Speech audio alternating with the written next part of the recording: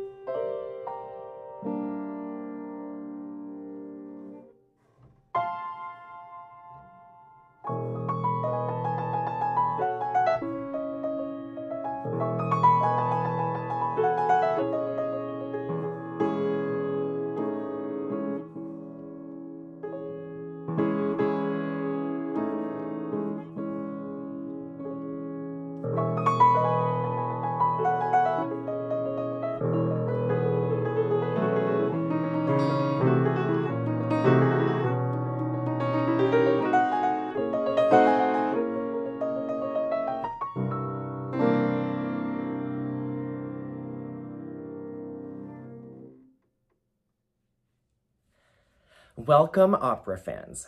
What you just heard was sublime music from Act 2, Scene 1 of Pelléas et Mélisande by Claude Debussy. My mission today is to walk you through analyzing an opera so that you as educators feel confident in helping the students appreciate the opera to its fullest. And who knows, maybe you'll learn to appreciate the opera a little more yourself.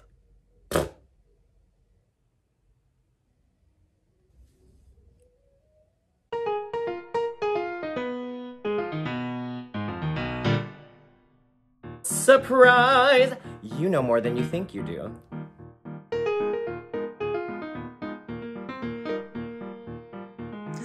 This painting. This painting. This painting. If so, then you have already seen the Impressionist style of painting. The Impressionist style of painting is defined by small, indefinite smears when seen up close, but from far away, these small, indefinite smears come together to form the impression of an image rather than trying to recreate a detailed, realistic version of a painting.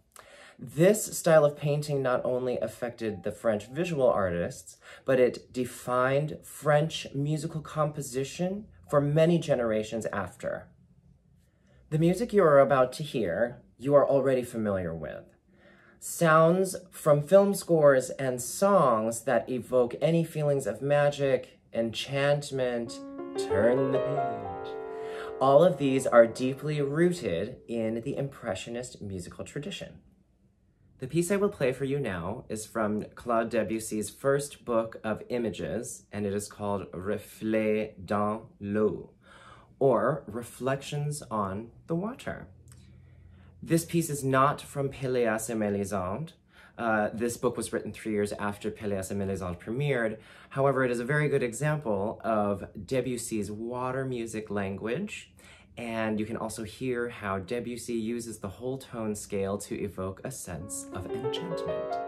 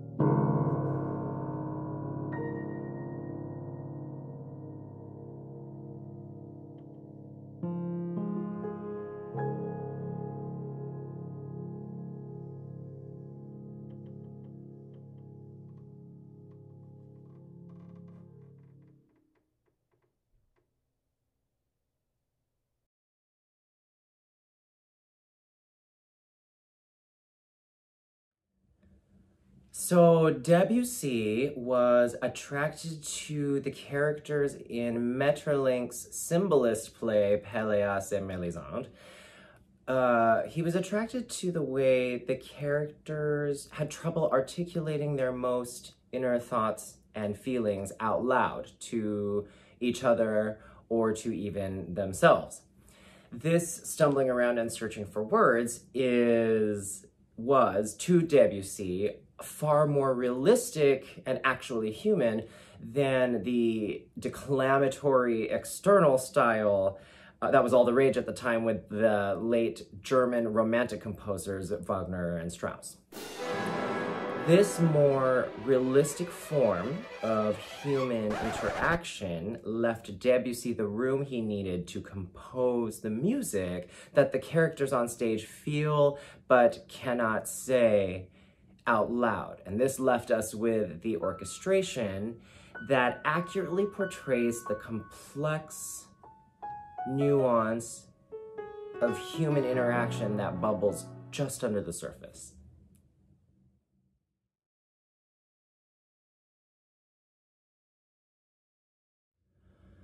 Pelléas was special for a lot of reasons, but particularly because Pelléas shifted the game from this outward declamatory style of expression backed up by the orchestra to a more internal, normalized form of expression by the characters on stage, but the orchestra expressing the deep feelings without the characters uh, being the wiser.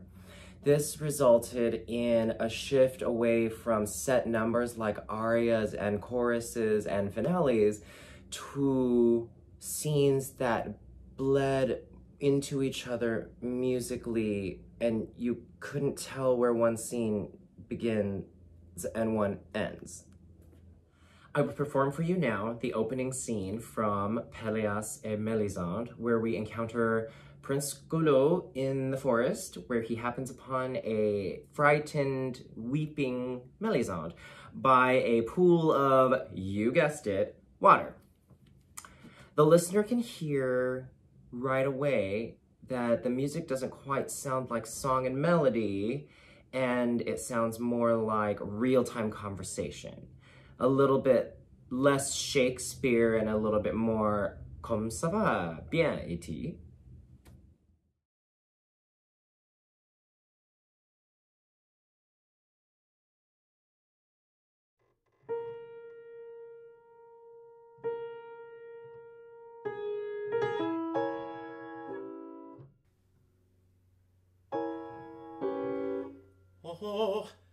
Attila Bordelot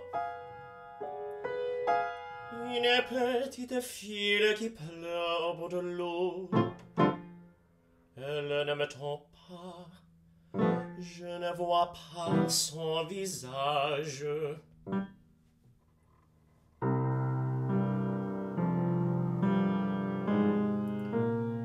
Pourquoi pleurais-tu? N'ayez pas peur, vous n'avez rien à craindre. Pourquoi pleurez-vous ici, toute seule Ne me touchez pas, ne me touchez pas. N'ayez pas peur, je ne vous ferai pas. Oh, vous êtes belle. jamais j'étends l'eau, je ne vous touche pas. Voyez, je resterai ici contre l'arbre, n'ayez pas peur.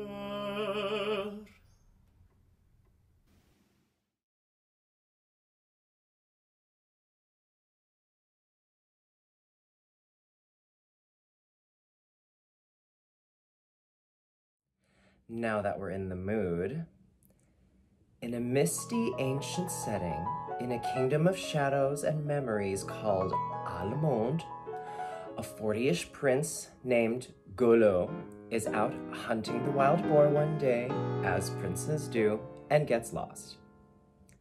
He comes across a frightened young woman by a spring, as you saw so vividly portrayed. Melisande weeps and recoils even from the touch of his hand. She too is a princess, though far from home and uncertain of how she got there. Yet, in the wink of an eye, the two are married before Melisande has met the man she's destined to love, Golaud's half-brother, Peleas. And the love triangle guarantees a succession of jealousies, rhapsodies, and ultimately, tragedies.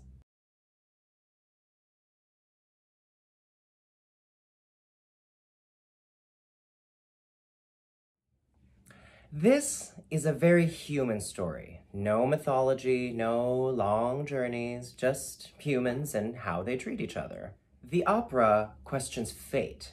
In the end of the story, there is nobody to blame.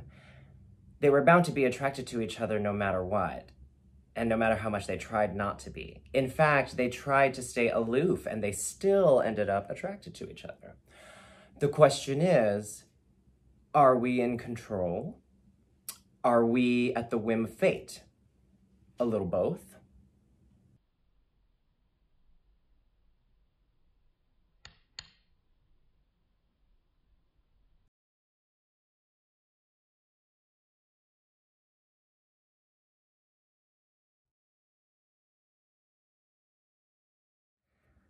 Here are a few facts that are good to know before diving into the musical material of the opera.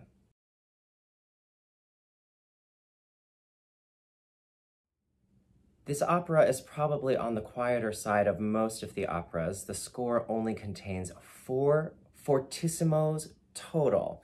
It might be a fun thing to listen for where the loud peaks of the music happen in the story and see how they correlate to the events. The text from Pelléas and Mélisande from Maeterlinck's play is untouched. Debussy only made cuts, but he did not change any of the text.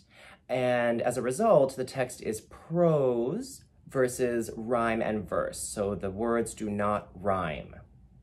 And just to recap, uh, most of the musical building blocks of this piece are based in Impressionism and the Eastern scale. This is the normal scale.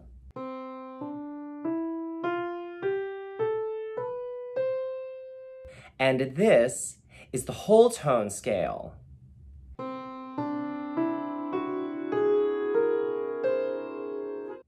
Keep your ears open and see if you can hear the building blocks of Impressionist music in Pelléas and Mélisande while it's happening. And now, my favorite part of analyzing an opera, introducing the musical themes. To conclude today's seminar, I will perform for you the postlude from Act 3, Scene 1. In this scene, Prince Golaud has just caught Melisande and Peleas uh, having a moment with each other at night. Melisande is letting her hair down, brushing it from her balcony, and Peleas is ecstatically losing himself in her hair. Uh, interpret that as you will. Uh, after Golaud catches them, he says this could never happen again.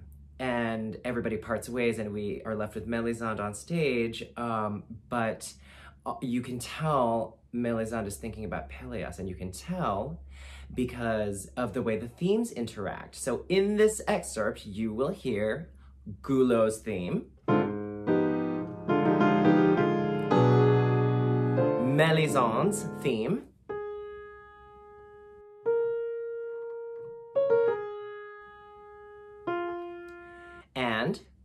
Theme.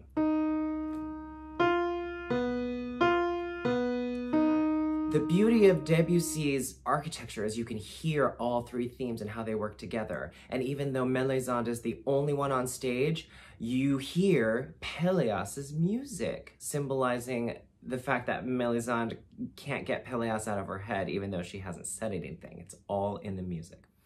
I hope you feel more prepared to digest this music. Please enjoy Act 3, Scene 1 postlude from Peleas and Melisande.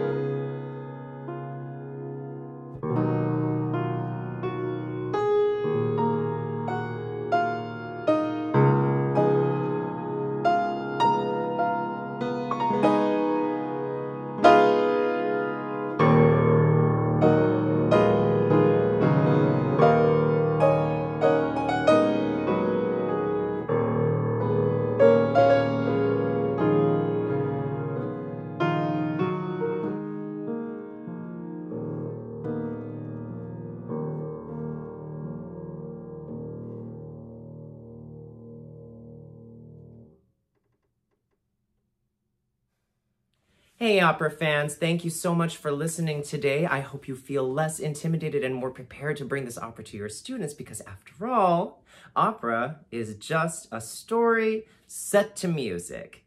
See you at the